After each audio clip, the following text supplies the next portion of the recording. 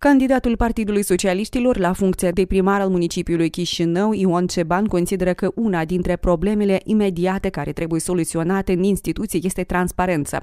Potrivit lui, cheltuielile care se fac în baza bugetului municipal trebuie să fie prezentate public săptămânal. Primul și cel mai important lucru trebuie să existe transparența în cheltuirea banilor în activitate și ceea ce se face nemijlocit la primărie nu trebuie să devină acțiune de PR. Primarul este angajat pentru a rezolva problemele și nu trebuie să-și facă publicitate de banii pe care cetățenii plătesc în vistiere municipalității, spune Ion Ceban.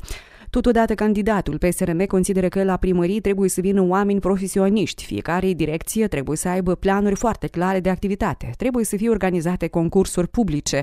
O altă problemă care necesită soluționare, în opinia lui Ion Ceban, este debirocratizarea.